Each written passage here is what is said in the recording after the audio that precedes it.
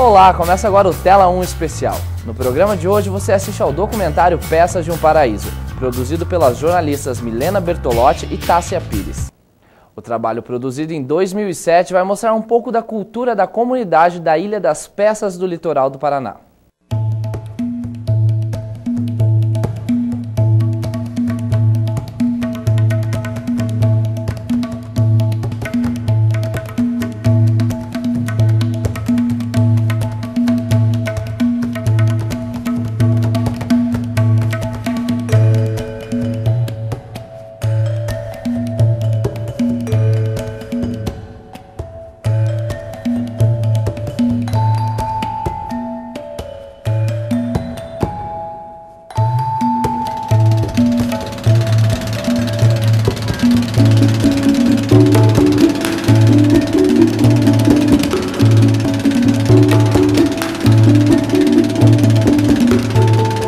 Verdade, essa cultura caiçara, ela é um, um fenômeno, assim. Da mesma forma, quando ela está acabando, que você acha que não existe mais o que fazer, ela surge com toda a força. Então, assim, é muito difícil da gente saber que, como está a cultura, se ela está se acabando, se ela está bem.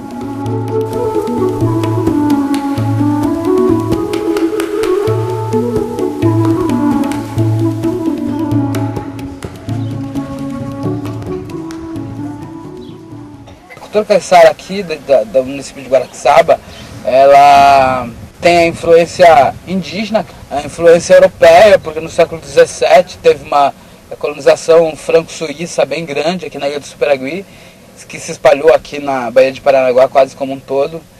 E, influência negra em menor escala por causa dos escravos que eram trazidos para cá para comercializar em Paranaguá e Antonina. A chegada da vila, as igrejas aqui, foi tudo próximo assim 1890, 1900, logo no comecinho desse século. Assim. Aqui eles eh, vieram para cá, tinham essa atividade de, de, de plantação mesmo, né?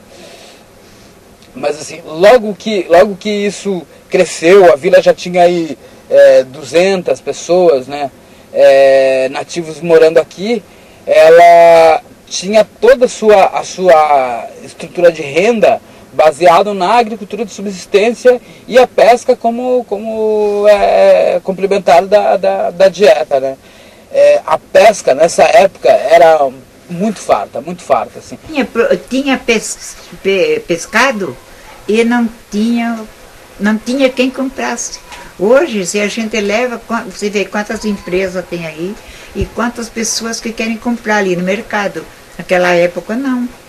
Tinha muito peixe e não tinha para quem vender. alguns navios de comerciantes faziam a- um- uma linha de Santos até Florianópolis e passavam por aqui.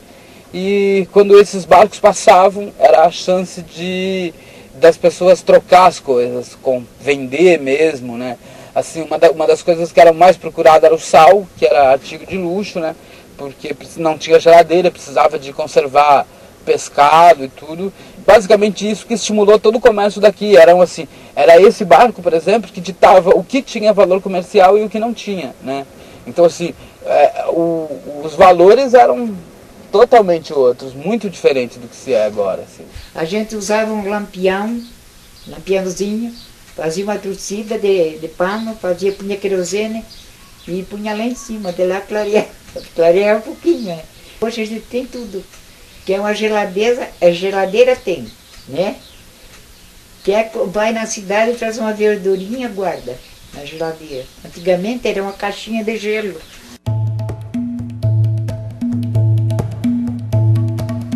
A cultura caiçara é cultura tradicional por esse fato. Ela é passada de uma pessoa para outra. Eu aprendi, eu conto para o meu sobrinho, meu sobrinho conta para o amiguinho dele e assim se faz a cultura, né? A gente tem todas essas influências indígenas na nossa cultura.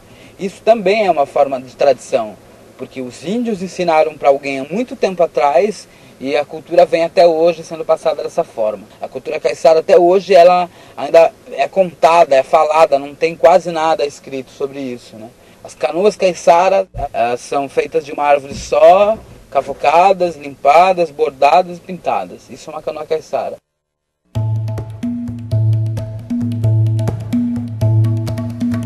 É, as lendas, por exemplo, ela teve um papel muito importante na, na história da cultura caiçara, que é, o papel dela era exatamente o lado religioso, assim, era atacava pela, pelo lado da psicologia, né?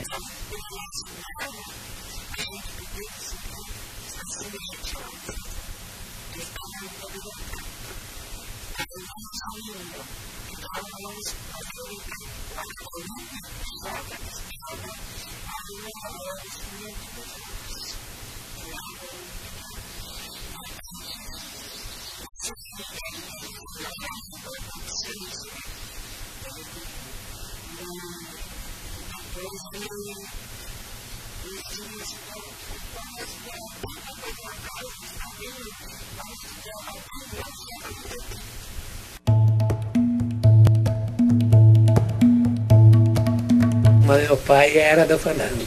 Ele tocava viola, a gente tinha uma casa lá em cima, lá. Eu me lembro que ele levava a gente no colo, porque ele gostava do fandango. Para deixar a gente em casa era perigoso, não sei. Então ele levava, ele me levava. Eu me lembro disso. Lá vendia um prato de canjica, quentão, tudo lá.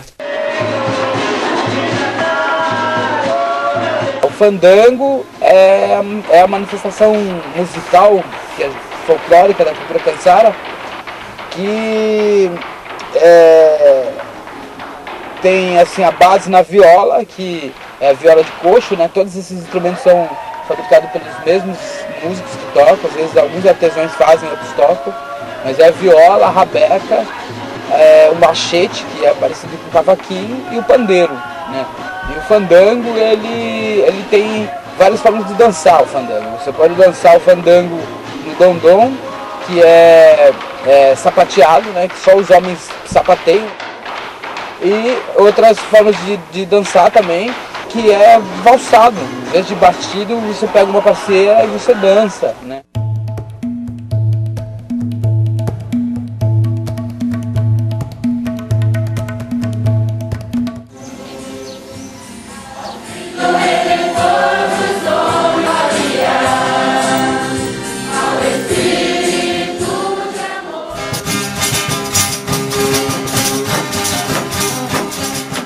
Essas são, são festas religiosas, né? Antigamente existiam outras festas, né? Que com o passar do tempo foi se acabando, assim, né?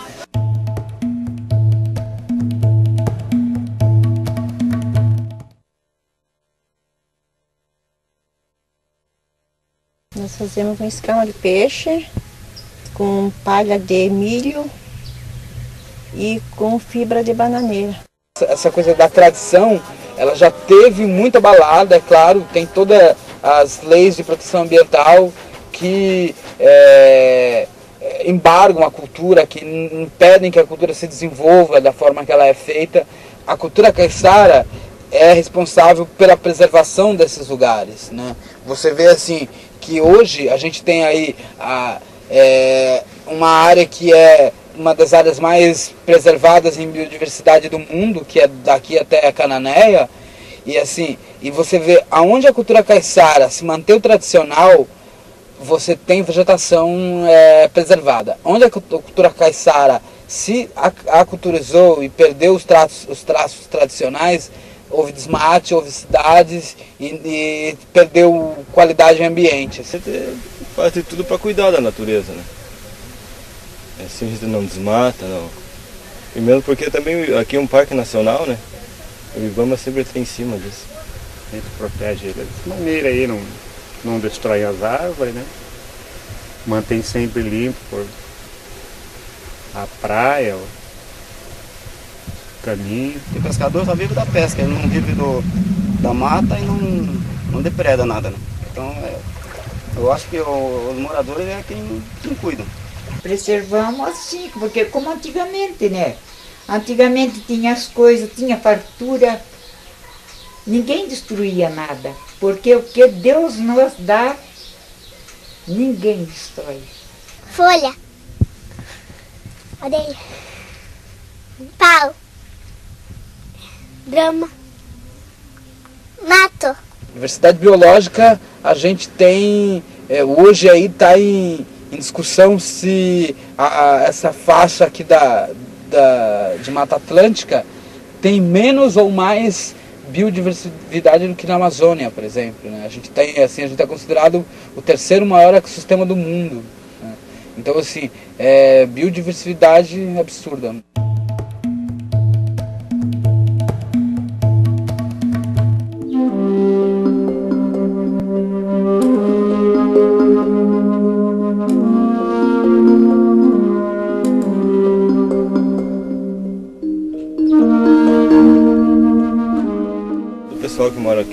Carinho pelo boto, né? Assim, às vezes morre, mas pega na rede assim e se afoga porque tem que respirar, né? Mas não que o pescador assim queira matar o boto, assim, alguma coisa. Sempre teve um carinho bom pelo boto. No próximo bloco você continua assistindo ao documentário Peças de um Paraíso. Voltamos já.